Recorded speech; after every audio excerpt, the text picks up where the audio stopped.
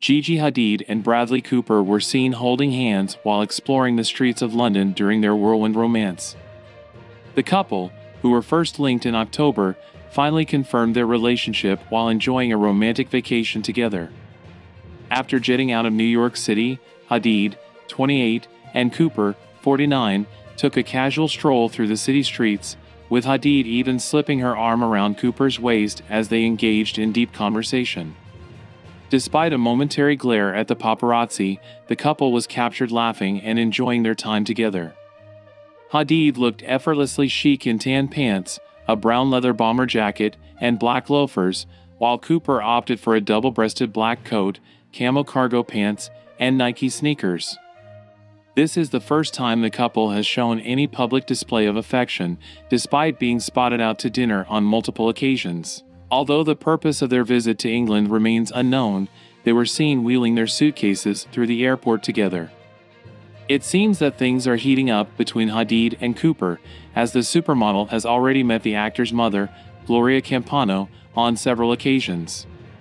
After the Golden Globes, Hadid was even photographed joining the mother son duo for dinner.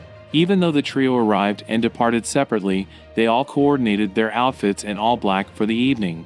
In November, Hadid was spotted spending time with Campano shortly after their romantic trip to a picturesque riverfront town in Pennsylvania, where the actor recently acquired a property. The two women had a fun day of shopping together at Hadid's Guest in Residence store in NYC. It seems that the model gifted the matriarch a pair of her unreleased Adidas X guest of residence sneakers, which both Hadid and Cooper have been seen wearing around town. During this time, an insider revealed that their relationship was progressing rapidly. They were spending every day together and things were becoming serious. According to a source, their connection goes beyond just physical attraction. Cooper finds Hadid intellectually stimulating, which adds depth to their relationship. Despite their significant age difference, the two reportedly have many similarities.